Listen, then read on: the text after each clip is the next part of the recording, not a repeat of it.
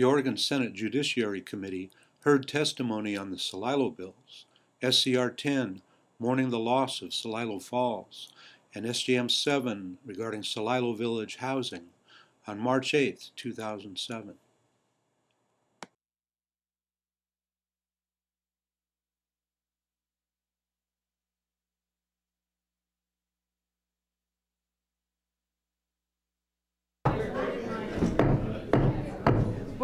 Everyone. Call the Senate uh, Judiciary to, uh, to order in subcommittee.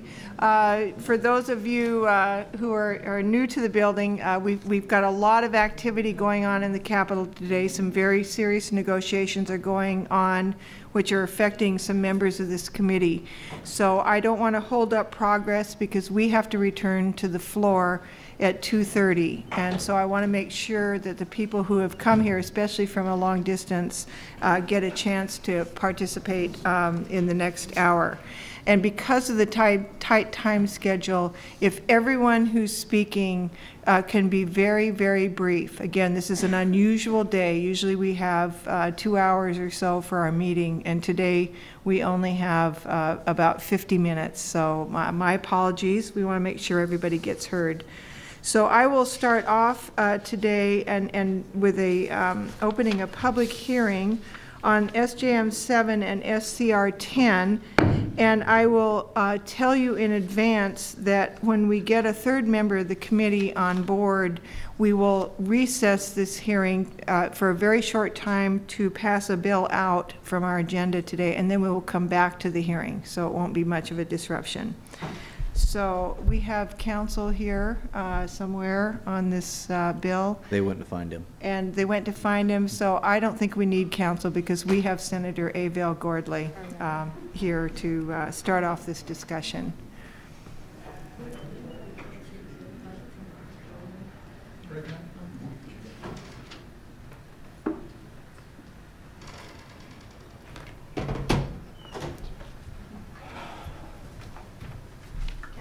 Been replaced by Senator Gordly. I hope you're a good sport. I probably did a lot better job than I can do right Normally, council does a summary, but we will rely on your good services unless Senator Gordly, you would like him to proceed with the summary. I would like, uh, thank you very much, Madam Chair. Uh, Good afternoon. For the record, uh, Avel Gordly representing Senate District 23 in Multnomah County, and it's an honor and a pleasure to be here this afternoon for this purpose.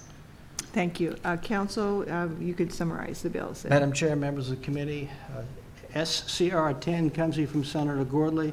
It mourns the flooding at Cecilio Falls in 1957 caused by the damming of the Columbia River at the Dalles. It's Celilo Falls. Celilo, I know, I'm sorry.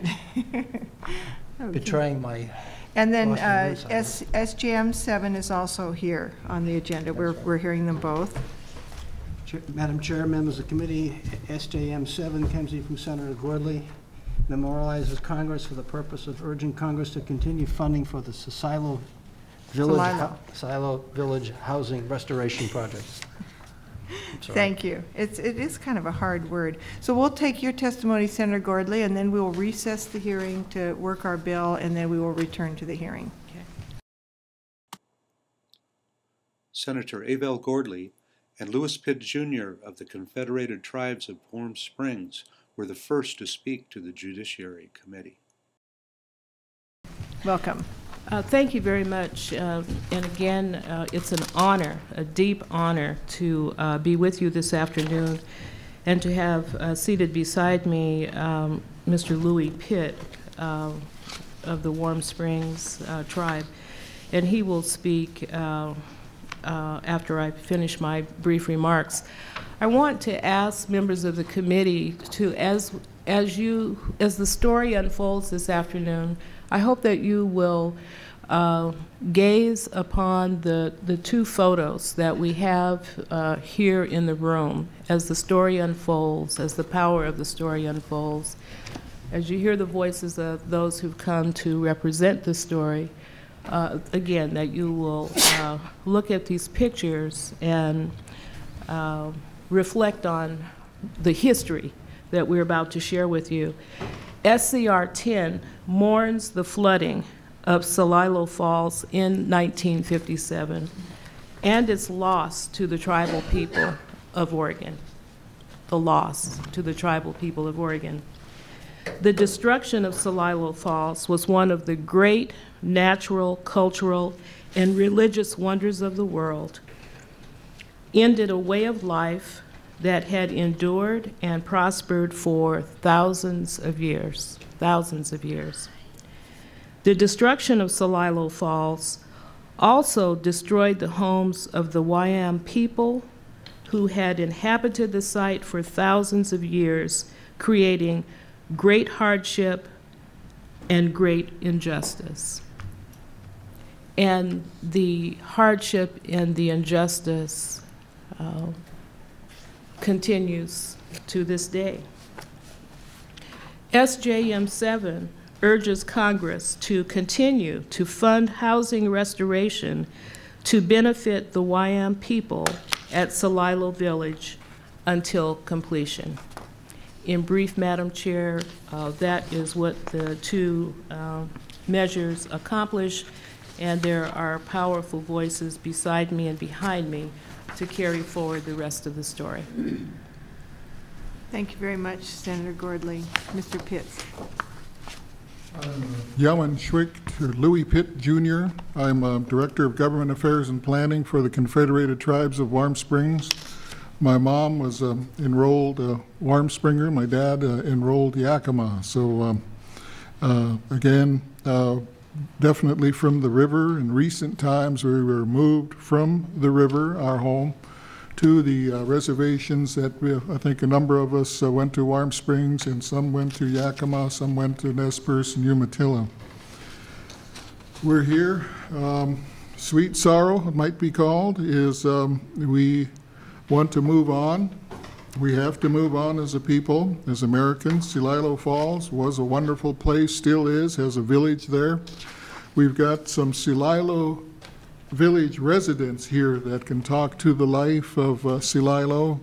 And I, as a government person, have committed, I think, uh, to carry the message on uh, from our tribe that we will work to coordinate, I think, ongoing efforts to help Celilo, uh, the people be what it should be for the village and for those of us that uh, still use treaty rights and use that as an area to uh, house our treaty rights as we go fishing on the river. We still have our off-reservation rights, and the uh, people, the Wayampums, um, as a people of the river, have uh, held the line down there for uh, a long time and have been, to be honestly said, neglected by a number of governments. And so we are back, and we need the funding, and we put that in, uh, I think, uh, a note to Congress to continue urging funding this. And uh, also, we're going to need the services of the state in the county for the ongoing services of that community and, and, and what uh, we can't provide uh, from our various reservations and uh, that uh, federal people just aren't good at too. So again, we'll need some of your leadership down the road to help uh, provide those services.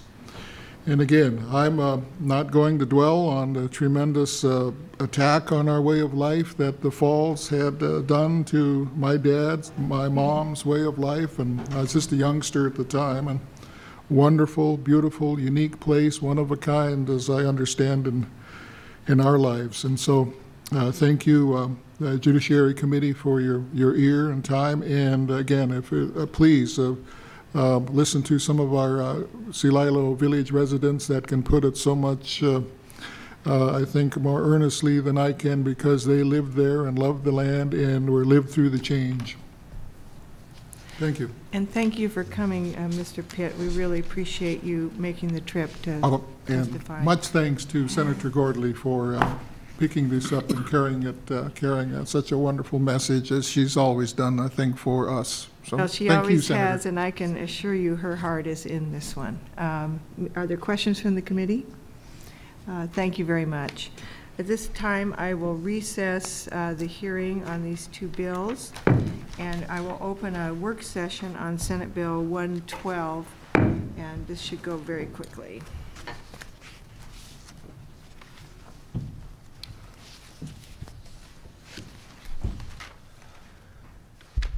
Thank you, Madam Chair, members of the committee.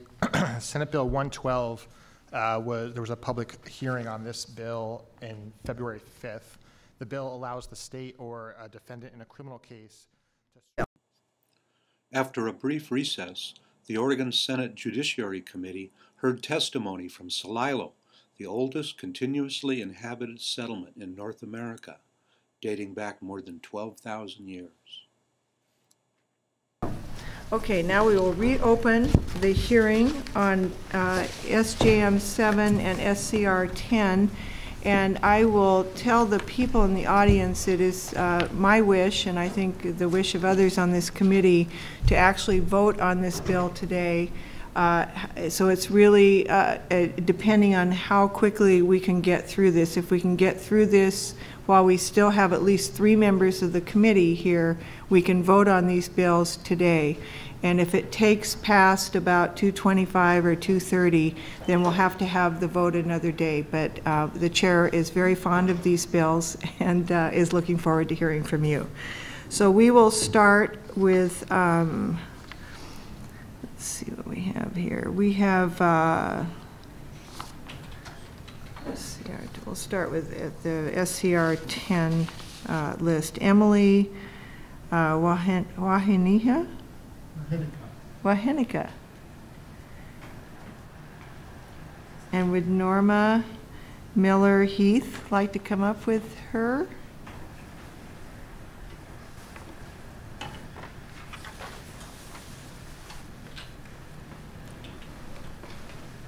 Okay, speak. Go ahead, Emily. My Welcome to- name is Emily Waheneka. My Indian name is Kasinwai. And I'll have Norma Heath Buttons, or Norma Buttons Heath, read the statements for, Thank you for very me. much. Thank you. Good afternoon. It's an honor and pleasure to be here today. My name is Norma Miller Heath, Warm Springs. Um, Good afternoon, Chair Burdick and members of the Ju- Judiciary Committee. A statement for for Emily Waheneka.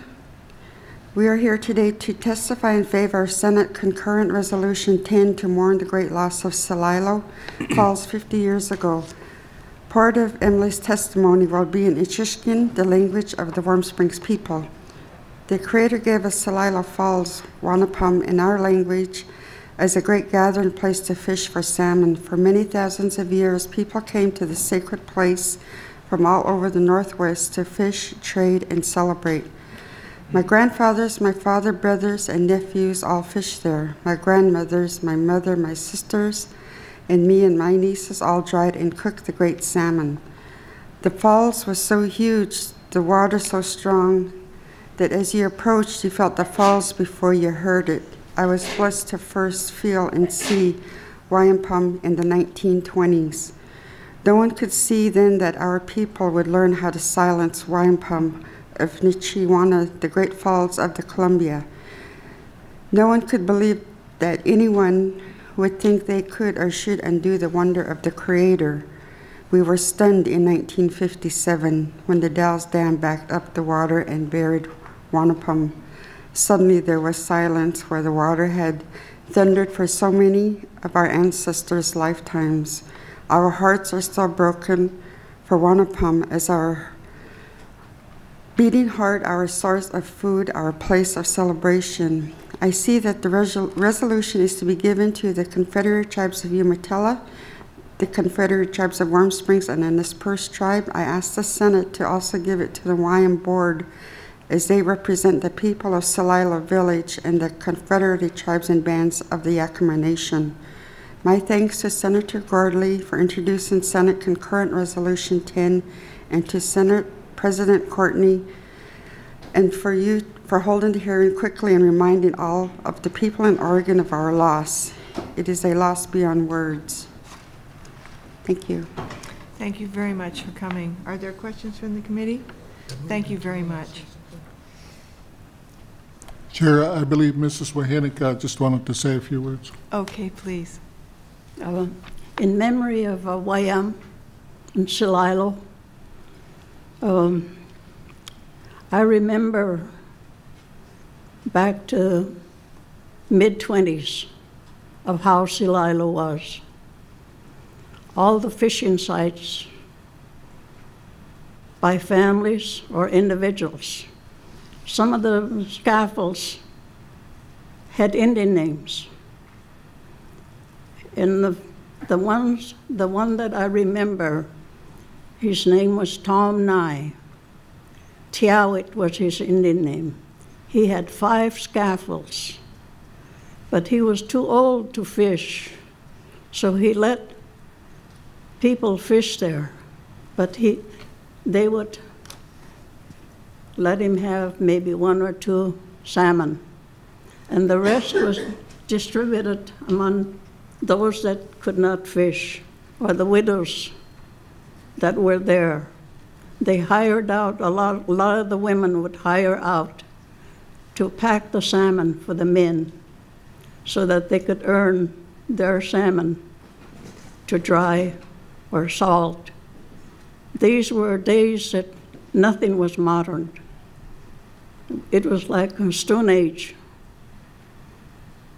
I remember going to the big island with my mother.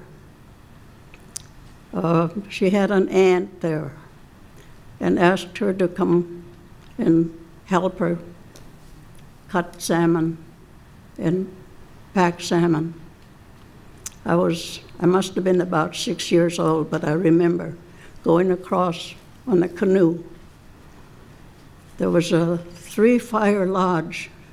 This was the Moses clan from Maryhill, Washington. That's where my Indian name came from, because my grandfather was from Maryhill, and my grandmother was from Tuxbush. That's John Day. So anyway, the clan, they had five scaffolds. And Stahomsh was the name of their scaffolds. And that's the name that Joe Moses has today. He's one of our chiefs in the Confederated Tribes of Warm Springs. And the drying sheds were always on the east end of the building, the shack. There was two other families, the McKinley family, and there's just one daughter living from that family. They put up the lodges there sometimes in May or early part of June after the spring runoff. Of course, during the spring, there were a lot of seals that would come up and settle in those islands. But uh, the fishing, the peak season, they, they came from all over the Northwest to fish. And off season, that's when we would all be busy cutting salmon for drying. There was no refrigerators, no freezers. So the salmon, a lot of, a lot of it was in 25 gallon barrels to salt. Same with the eels. And the pounded salmon was put into cedar baskets to preserve the, the salmon. And a lot, of, a lot of the people that could not come to Celilo, they were farmers or they were working out in the fields. They would can their fruit. The farmers would bring in their flour to trade for salmon. All fall. I remember my grandfather, my uncle, hauling, hauling flour, like 15 sacks, to trade for the salmon. They had to bring their flour, their wheat to Maupin flour mill. And from there, they would go home with flour. Thank you This is how it was during, during the summer months. Every year, every summer. Thank you for that um, eyewitness uh, testimony. That is very, uh, very compelling. Thank you for Mhm. coming. Are there questions from the committee? And, and during those times, the merchants in the Dalles would not, would not allow our people to enter their department stores. I remember a couple that went in. The manager came, out, out, out. You can't come in. I hope, I hope we've gone beyond that uh, now. So I appreciate you coming. Senator Walker, did you want to say something? I just want to thank them for their testimony, and um, I did read the Oregonian. Um, They did a nice story on the falls and the demise of your community, and I really enjoyed reading the history and appreciate getting this firsthand today. Thank you. Thank you. We have, um, our next three witnesses have also come from a, a great distance uh, to be here. Lana Jack, Ed, Ed, Edno, and, and Linda George Minas. I'm not very good at reading handwriting, so my apologies.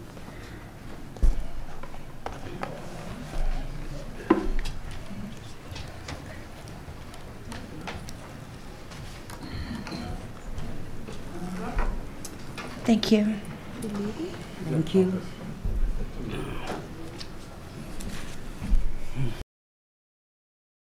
We've got floor at 2:30, so. I know. Welcome. And you. again, I want to remind you that if we're going to vote on this Yeah. bill today, we Yeah. need to, um, Okay, thank you. thank you. At this time, I'd just like to thank each and every one of you for your time and your compassion to this situation, to this story, as, like they said in the beginning, as it is um, unfolds. Could, could you give us your Um, name for the record? My name is Lana Jack. I grew up at Celilo. I'm currently a homeowner and landowner in this relocation plan that we are currently in with the Army Corps of Engineers at Celilo at present. Thank you. Thank you very much for coming. Who would like to talk next? Hello, my name is Linda George Meanus. I'm the great granddaughter of Chief Tommy Thompson and Flora, and I too am a descendant of Celilo. Um, um, I'm Celilo Wyam, Warm Springs and Yakima tribe. Um, my dad was Yakima, my mother was Warm Springs, and I am praying that you will pass this. Thank you. We are in need of housing that we were promised 50 years ago. Thank you for coming, and I saw uh, your picture with your great-grandfather. It's a beautiful, beautiful picture. Thank you. I'm Ed Edmo. I'm enrolled in Shoshone Bannock, but I'm also Nez Person Yakima. Been visiting on the river since I was six months old, so I'll be 61 next week. Long visit. That's wonderful. I appreciate you all coming. Uh, are- Are there any questions of these witnesses from the committee? Thank you very much. Really appreciate your coming. I had Uh, a statement. Oh, We- I'm we have sorry. to I, say. I thought you We were, must- yeah. okay. I thought you were just introducing Yeah, us. they were introducing. Oh, okay. Yeah, Uh, yeah. Yeah, go ahead and, and Yeah. give a short statement. Yeah, yeah. Thank you.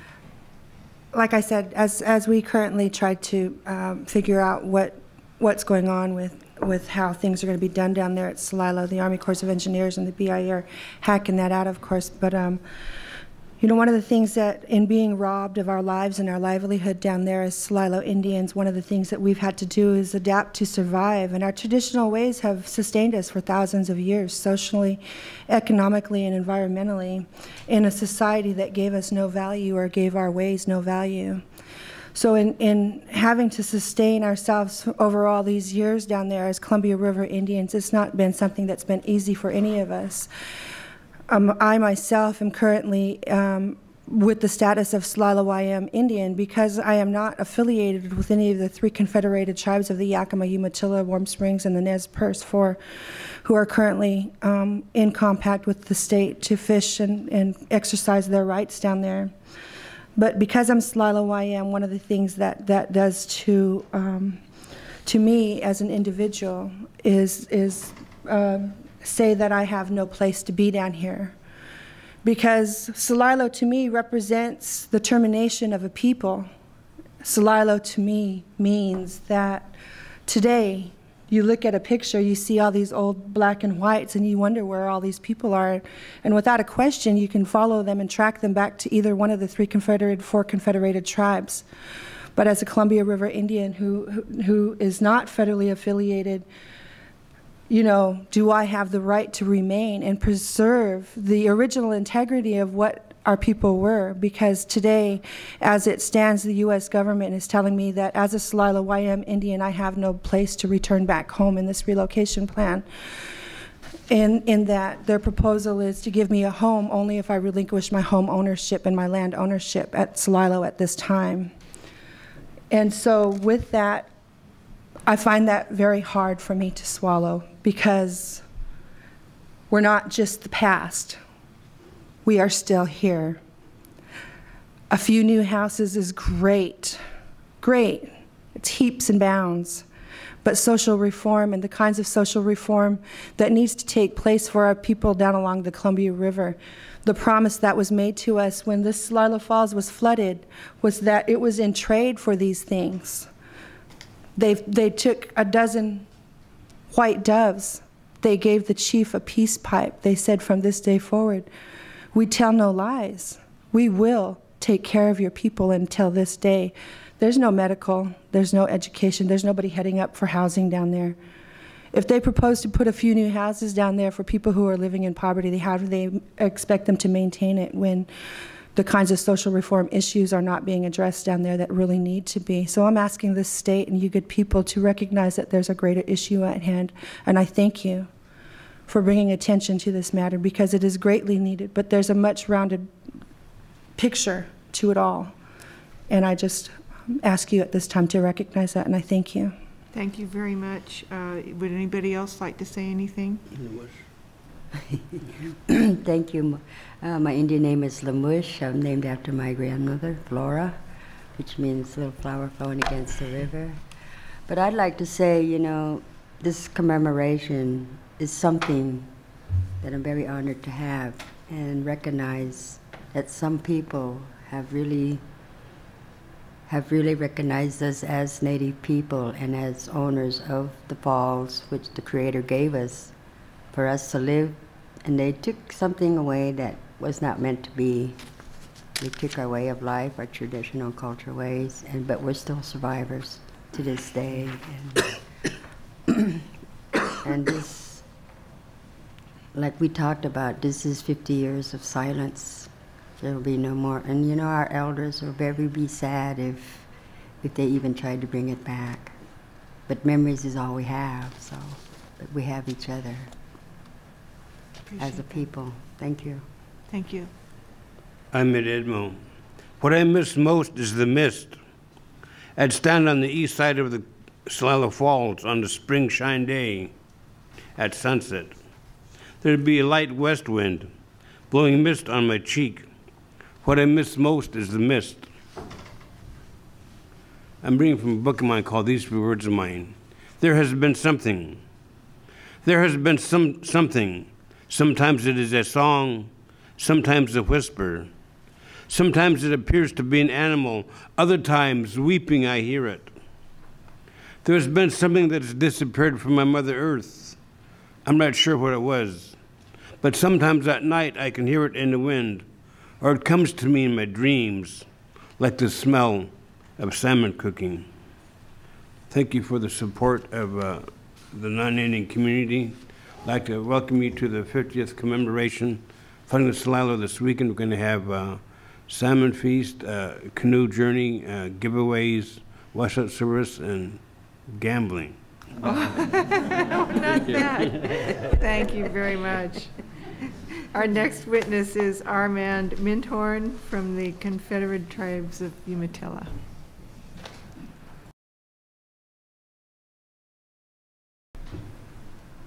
Welcome to the committee. Thank you.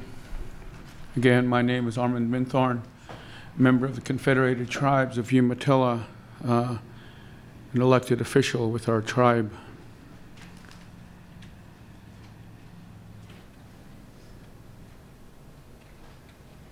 In my own language, I wish to briefly address about this memorial for Celilo Falls. We at the Nat Giwatas, Ikuin Hiwas, imakas pikun salailo. Temena ko mai chiwas ki tatochen. Ikuin hiwas mitskuin ach sa tatokanawat natsoch ki wayam ki salailo imakas pikun kun ko hiwas tamit nisa ki tatokanawat ko mait hiwas tamina imakas hani wam tain ki walaset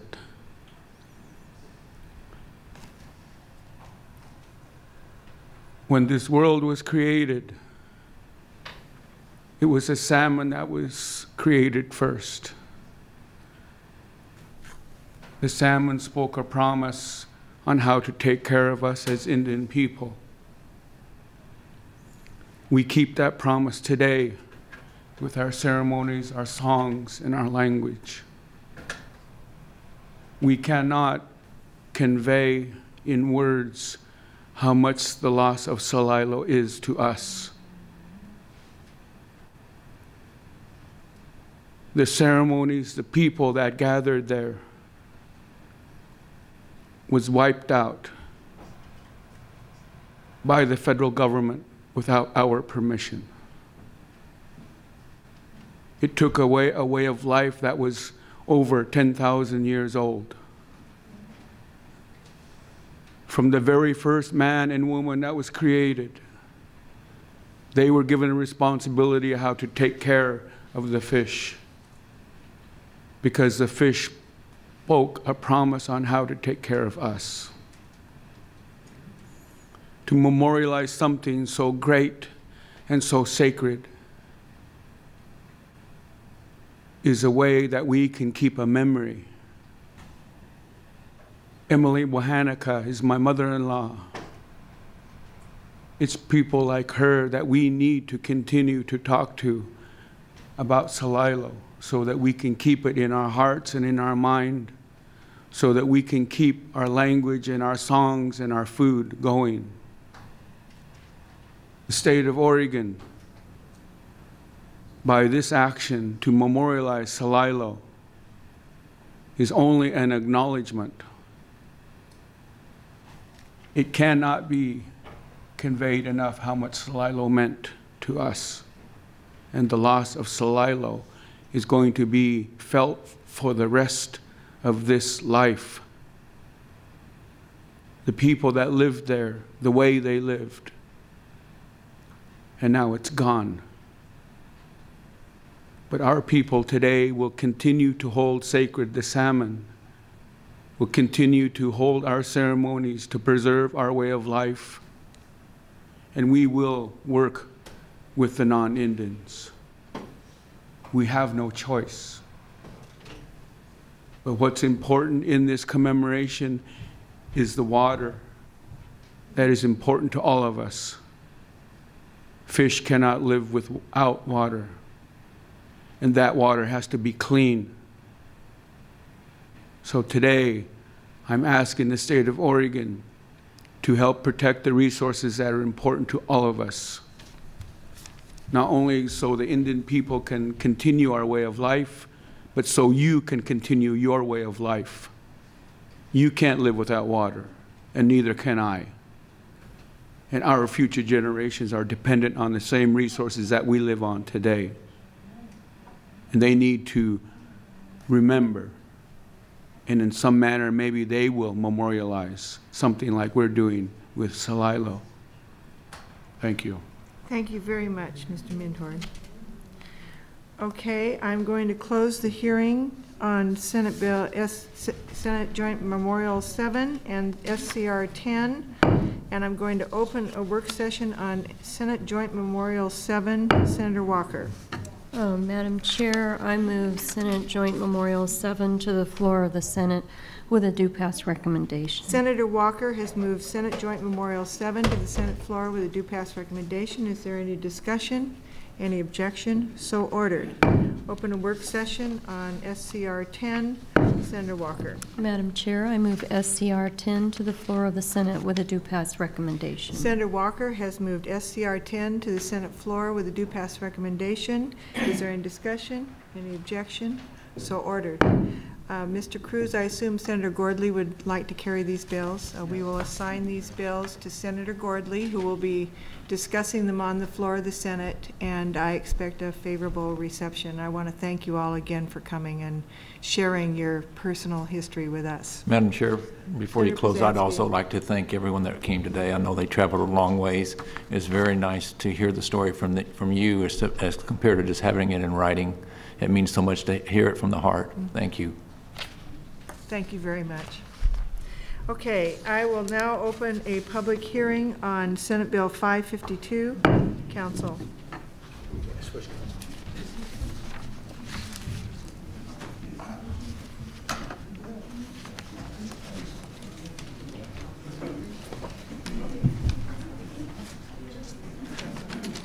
We'll stand at ease for a moment while, uh, while, uh, yeah, we'll stand at ease.